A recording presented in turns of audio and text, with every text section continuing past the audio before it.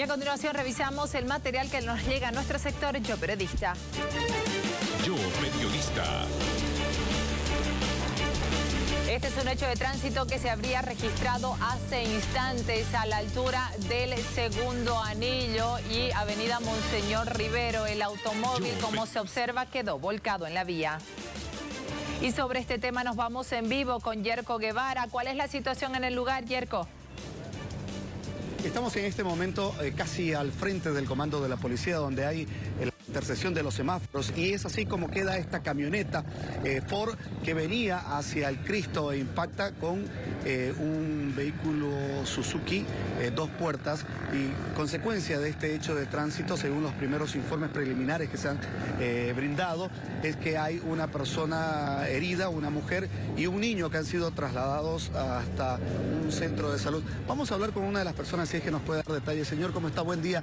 Y con respecto al accidente, ¿usted venía en uno de los vehículos? No, mi esposa estaba estacionada y según lo que me comentan que ese vehículo venía de la libertad y la chocó a esa camioneta en plan, la panza, dio vuelta y vino y cayó encima de mi vehículo.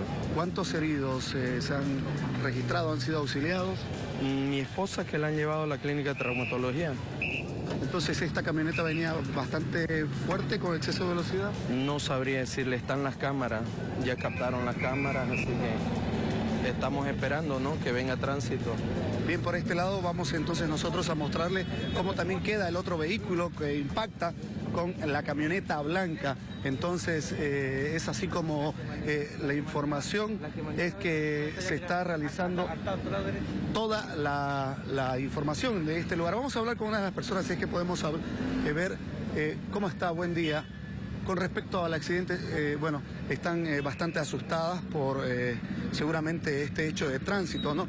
Vemos bastantes efectivos de la policía que están ahora ya en este momento tratando de que la camioneta volcarla para trasladarla hasta tránsito. Pero como decía, una de las personas eh, que vino a auxiliar a su esposa, solamente eh, se trataría de una de las personas que ha sido ya llevada hasta un centro médico. Nosotros más adelante estaremos ya con el informe de policial Gabriela con todo este hecho de tránsito que se ha registrado sobre el segundo anillo, casi eh, frente al comando de la policía donde está la intersección, decíamos, de los semáforos.